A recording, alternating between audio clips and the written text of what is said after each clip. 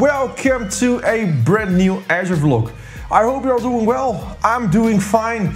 So today's topic is extending Copilot for security. And I think one of the important questions that you should ask first is why would you extend Copilot for security? And I think there are a couple of reasons. The first reason is by integrating external systems. We can create our own plugins that do HTTP calls and using those HTTP calls we can gather data from external systems which might be very helpful in the prompt you are executing. Another thing is that when you do a prompt you want to have Copilot responding in a certain manner. If it does not, we can create our own plugin and use that plugin to have Copilot for security respond in the way we like. So those are, I think, two important things to extend Copilot. Before I'm going to show you how you can create a plugin, let's first start by showing you how Copilot for Security works, so you know how plugins come into play. So let's switch over to my desktop. Okay, so let me quickly explain how Copilot for Security works. So in the top over here we have the prompting solutions, which can be the Copilot for Security standalone experience, which is the experience that look like the uh, Chat GPT interface. Or we can use Copilot from Sentinel, from Defender, from Intune, from Purview and all the applications that have an implementation for uh, the Copilot for security. We execute our prompt, which goes to the Copilot for security uh, engine over here. And what it first does, it forwards the prompt to our plugin, which will do pre-processing. So it might enrich the text, it might change it a little, but in such a way that the uh, large language model, which is the next step, can better respond on our question. When the large language model has responded to our question, it gets back to the Copilot for Security engine, goes uh, again to the uh, plugin. It will do some post-processing over there. It will rephrase stuff or whatever is needed. And from there, it will go back to the application where we started our prompt. So the plugins are quite interesting because they do pre-processing and post-processing. And pre-processing could also be enriching our prompt with data from an external source. So we can use that data uh, in the large language model to ask questions about, etc. So this is why the plugin architecture for Copilot for Security is so interesting. We can easily extend Copilot for Security with other systems, with other vendors, etc. If we switch back to the PowerPoint, uh, I don't know if you can see, I think the screen is over here, but here also is stated uh, ServiceNow. So it's not just Microsoft stuff that's in there, it's also stuff uh, from other vendors like ServiceNow. And I think in the future we will get a lot of other integrations with uh, other third parties. Okay, so let me now show you where you can configure those plugins in Copilot for security. By default, only a couple of plugins are enabled. We can enable a lot more of them and we can upload our own plugins. So let's switch over to Copilot. I'm here in Copilot for security in a prompt window. Uh, this is the standalone version, securitycopilot.microsoft.com. And if we click on this icon over here, which is called sources, that will show us all the plugins that are available to us. We have a couple of for Microsoft and we have a couple non-Microsoft plugins. If we click open the Microsoft plugins, you'll see that we have plugins and a lot of them are enabled for the Azure Firewall, Microsoft XDR, Threat Intelligence, Intune, and so on. We could enable more of them if we would to if we would like to bring data from those sources into Copilot. There are also non-Microsoft plugins. For example, we have uh, CrowdSec over here, CyberArk, Darktrace, Grey Noise. I think I saw Shodan, here it is. A lot of external sources that have a plugin available for us to use. We can set them up by clicking on, uh, on setup over here and we need to enter some values over here to configure our plugin. Most likely a configuration string or something like that. If we scroll down a bit more, there is also the possibility to add a plugin. If I click on this, you'll see that uh, we can uh, upload a Copilot for Security plugin or a OpenAI plugin. If we click on Learn More over here, we go to the Microsoft Learn page about plugins. And what you'll see over here is that we have a couple of plugins available. We have an API plugin, which is a plugin that you can write to get external data into Copilot for Security. And this plugin uses the Open API spec, also known as Swagger. So if you would like to bring data in into Copilot for Security, you need to make sure that there is an Open API spec API available to you that uh, can bring in those data. Sometimes you need to build a proxy to convert from another type of source to the open API spec.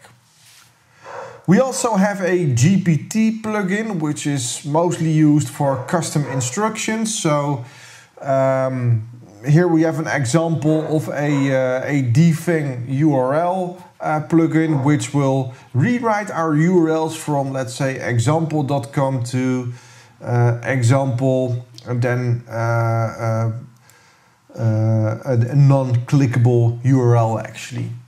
We also have KQL plugins, so we can write a KQL over here, and as soon as this plugin get executed, it will automatically uh, run this KQL and show the results to you, which I think is, uh, is pretty cool. Okay, so let's start by creating our own plugin. What I most of the time do is start with the example that is showed at the Microsoft Learn page. So if I switch over to my desktop, we go to the Learn page. Let's say for this example, we would like to build a GPT plugin. I'll go to the example over here, copy this, and paste this into my Visual Studio Code.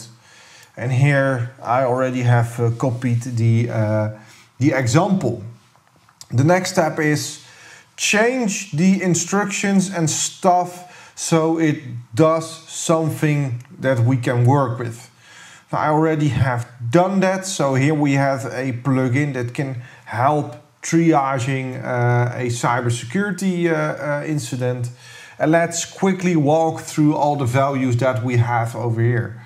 So here we have the descriptor, which is mainly the metadata that uh, describes our uh, plugin. So I've called it triage incident.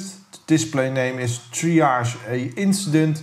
And for the description, I have chosen this skill helps to triage the incident by providing the triage action to be taken for the incident.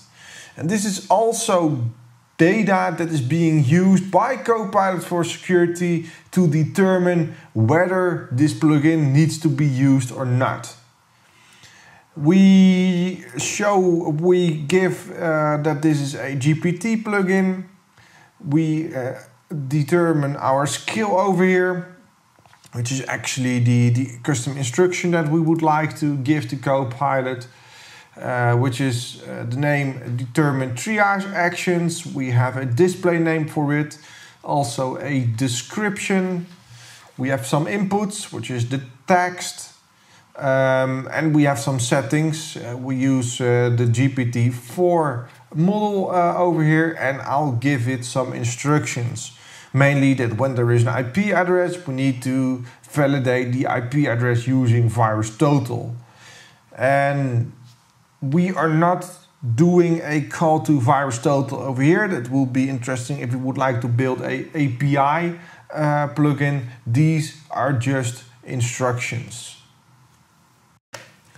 Okay, let's say that our plugin is, uh, is ready, our custom instruction. Let's now uh, upload our plugin to Copilot for Security and see it in working action. Let's switch over to the desktop. So here we are. Again, I'm going to the sources over here, scroll all the way down, hit add plugin, uh, click on the Copilot for Security plugin, I will upload my file over here. I have it somewhere on my desktop. Here it is, plugin.yaml. I'll add this one and now my plugin has been added to Copilot for Security. And as you see over here, we have the triage A incident with the description that I'll show you. We can click on settings, we see a bit more can upload a new file that will replace this plugin. We're not doing that right now. But uh, yeah, our plugin is ready to use. If I now want to use my plugin, I can literally type in something here as I have a incident with IP address 8.8.8.8 and user jeroen.niesen at azurevlog.com can we triage this incident. And here we go. The session has been started up. It's checking my plugins. It has the triage a incident plugin selected. It's now uh, processing uh, the request preparing the response and let's see how it get back. So as you can see it got back with us to use VirusTotal as uh, in, the, in the instructions and it also has a lot of more stuff over here.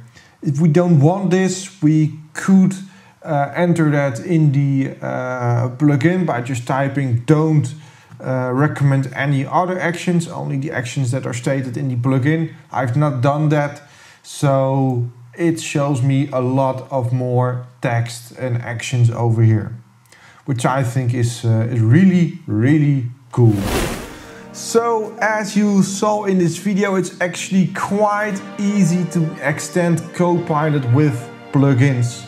We can create our own plugins to collect external data using a open API spec API, uh, extending Copilot with instructions using a GPT plugin. And there's also the possibility to extend Copilot using a KQL plugin, which will automatically fire a certain uh, KQL query as shows us the results. I think that is pretty, pretty neat.